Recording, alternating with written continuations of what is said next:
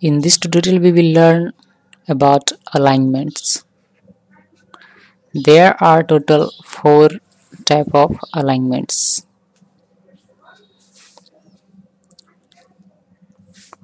For applying the alignments, select the text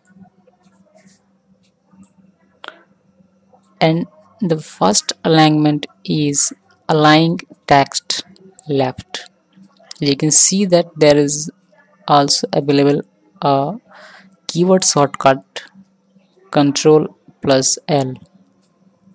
So you can use the shortcut button control plus L. The align text left aligns all the selected text, text to the left margin.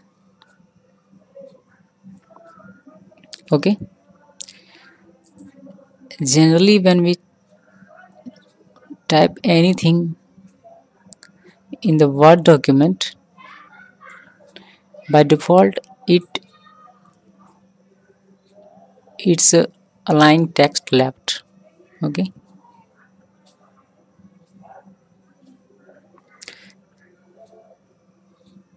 and the second one is center. As you can see that there is a shortcut key available for center control E. So first of all select the text then press. Sorry click in center alignment. You can see that center alignment aligns text an equal distance from the left and right margin.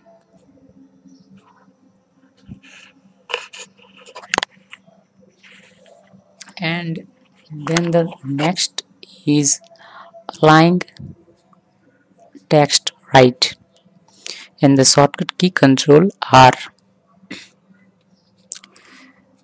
Align text right aligns all the selected text to the right margin as you can see then the last one is justify. And the shortcut key control plus J. Justify justified text lines up equally to the right and left margin. This is the left margin and this is the right margin can see and uh, this is the first one align text left. Okay. Generally people get confused between this left and justify. So look this look uh, carefully. What is the difference between justify and left align okay. When you click on the justify you can see that this is and a straight uh, as you can see that it creates a straight line in the left side uh, or in the right side. But if we select left align it only creates left side a straight line and in the right side it doesn't create a straight line like justify okay so this is how we can use different alignments in our text. Thanks for watching this video